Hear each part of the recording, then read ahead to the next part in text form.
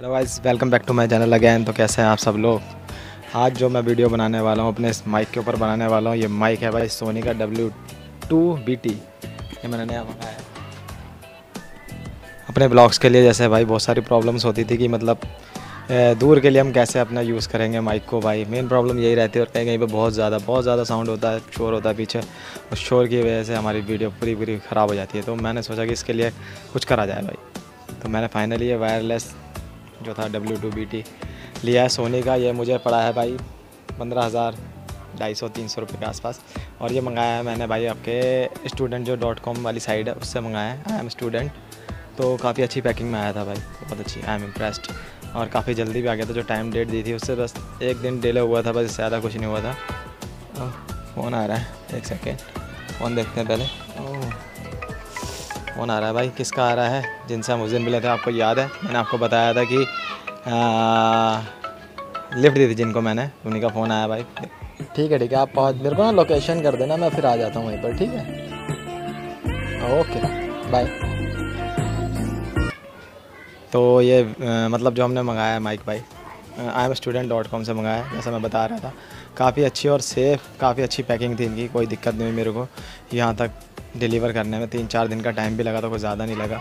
तो ऑलमोस्ट मेरे लिए बढ़िया लगा भाई है क्योंकि अब जैसे हम माइक लगाते हैं, अपना जो मेरा बोया का मैं लगाता था, उसमें बहुत ज़्यादा पीछे की बैकग्राउंड नॉइज़ और ये सब आता था। तो भाई इसके अंदर ऑप्शंस हैं आपका ज़ीरो डेसीबल और टेन और ट्वेंटी तो अभी मैं जो रिकॉर्ड कर रहा हूँ वो टेन के ऊपर ट्वेंटी के ऊपर कर रहा हूँ तो मेरी आवाज़ आपको कैसे सुनाई दे रही है, आप देख सकते हैं, अंदाज़ा लगा सकते हैं और मैं करीब दो मीटर दूर हूँ। अपने कैमरे से और किस तरीके की वॉइस आ रही है ऊपर कबूतर उड़ रहे हैं कबूतरों के उड़ने की पता नहीं आवाज़ आ रही है नहीं आ रही है अब मैं इसको करता हूँ टेन पे तो इसकी आवाज़ आपको ऑटोमेटिक पता लग जाएगी ये अब मैंने कर दिया इसको टेन के ऊपर और मैं सेम डिस्टेंस पर हूँ तो कैसी आपको आवाज़ आ रही है मेरी ये भी आपको पता लग गया होगा भाई तेज़ आ रही है हल्की आ रही है किस तरीके से आ रही है मुझे नहीं पता पीछे की बैकग्राउंड जो नॉइज़ है वो कितनी आ रही है अजान हो रही है उसकी आवाज़ आपको आ रही है या नहीं आ रही मुझे नहीं पता अब मैं इसको टेन ज़ीरो पे करने वाला हूँ। ज़ीरो पे करके देखते हैं कितनी आवाज़ आती है। तो अब मैंने इसको ज़ीरो पे कर दिया अपना भाई। ज़ीरो पे आपको कितनी आवाज़ सुनाई दे रही है, ये मुझे नहीं पता है। बट मेरे हिसाब से ज़ीरो पे जो होती है, बहुत ज़्यादा तेज़ आवाज़ सुनाई देती है। अब मैं डायरेक्शन इधर कर लेता हूँ। तो पता नहीं मेरी कनेक्टिविटी है या नहीं है, क्योंकि मेरे बैक पीछे कैमरा है, उसका ट्रांसमीटर जो है, उसके ऊपर लगा हुआ है।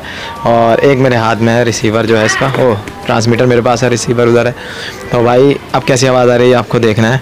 बाकी मेरे हिसाब से जो ट्वेंटी डेसीबल है, उस पर ऑडियो क्लैरिटी बहुत अच्छी होती है। पीछे का बैकग्राउंड बहुत ज़्यादा स्टेबल हो जाता है। तो मैं उसी पर वापस करता हूँ इसको। तो ये वापस मैंने उसको ट्वेंटी पे कर दिया है।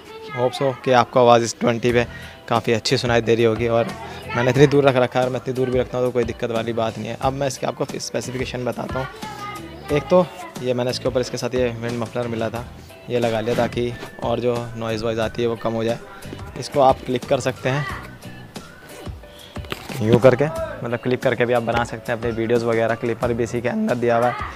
इसके अंदर जो खासियत है वो ये है कि आपको इसको दोनों तरफ़ से आप रिकॉर्ड कर सकते हैं। मतलब अगर आपको इधर से माइक से रिकॉर्ड करना है तो माइक से रिकॉर्ड कर सकते हैं। अगर आपको जो हमारा रिसीवर है उससे रिकॉर्ड करना है तो उससे भी रिकॉर्ड कर सकते हैं। अगर आप चाहते हैं कि दोनों से रिकॉर्ड हो जाए, उससे भी रिकॉर्ड हो जो कैमरे के पीछे है उसकी आवाज़ और जो मैं सामने हूँ तो मेरी आवाज़ तो इसमें वो ऑप्शन भी है। आपके लिए बहुत ज़्यादा ईजी होगा। मैं आपको दिखाता हूँ एक इसका, अपने फ़ोन में रिकॉर्ड करूँगा आपको दिखाता हूँ इसका ये कि किस तरीके से इसका रिसीवर है। ये देखिए।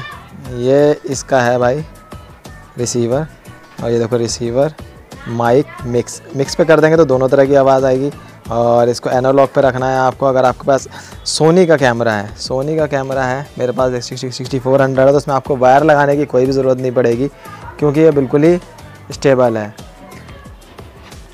मतलब इसके अंदर जो एमआई का इंटरफेयर्स है, उसकी वजह से आपको वायर लगाने की ज़रूरत नहीं पड़ती। बट अगर आप दूसरा कैमरा है, आपके पास जो इसमें सपोर्ट नहीं होता है तो उसके लिए भी आपको एक 3.5 पॉइंट mm की केबल इसके अंदर मिलती है, जो आप अपने कैमरे में लगा करके और आवाज़ वायरलेसली आप रिकॉर्ड कर सकते हैं, जो आपकी वीडियो के लिए।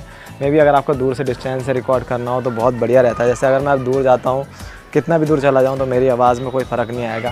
बिल्कुल सेम एज इट इज़ जैसे मैं वहाँ पर खड़ा था सेम आवाज़ आएगी। वो गैप नहीं आता है। एक्चुअली में बहुत सारी वीडियो में ऐसा होता है, कई बार रख करके दूर से रिकॉर्ड करना होता है, बहुत सारे लोगों को पता है प्रॉब्लम आती है। एक माइक भी आप इसके अंदर अलग से लगा सकते हैं। 3.5 पॉइंट mm का जैक का इसके अंदर भी अगर आप माइक यहाँ लगा करके इसका एक और आता है लेवलियर वो लगा करके आप इसको सेट कर सकते हैं। तो ये जो माइक जो ऊपर आपका दिख रहा है, ये भी नहीं दिखेगा, बस वो माइक दिखेगा आपका छोटा सा। तो मुझे लगता है ये काफ़ी अच्छा और बेनिफिशियल है। अगर मैं रोड के लेता हूँ तो रोड के मेरे ख्याल से अराउंड ट्वेंटी थाउज़ेंड के आसपास मिलते हैं। और ये मुझे फिफ्टीन थाउज़ेंड के मिले जो मेरे कैमरे सोनी के साथ कंपेटिबल भी हैं भाई। एम आई का इंटरफेस जो इनका है भाई वो भी काम कर ही रहा है सोनी का इंटरफेस के साथ। और मेरे को वायर भी नहीं लगानी पड़ रही है काफ़ी छोटा कॉम्पैक्ट है इतना बड़ा भी नहीं है। देख सकते हैं आप मेरे कॉलर पे लगा हुआ है। तो ओवरऑल ये अच्छा है। बस आ, मेरे जो कैमरा है वो तो बढ़िया ही चल रहा है। और साउंड क्वालिटी आपको दिख ही लिया आपने किस तरीके की आ रही है। अगर कोई क्वारी है तो आप मेरे को कमेंट करिए। इस विंड वीडियो को यहीं पर एंड करते हैं। मिलते हैं आपसे नेक्स्ट ब्लॉग में। तब तक के लिए goodbye take care see you soon अभी हमें जाना है, जैसे मेरे पास फ़ोन आया था तो मैं वहाँ निकल रहा हूँ।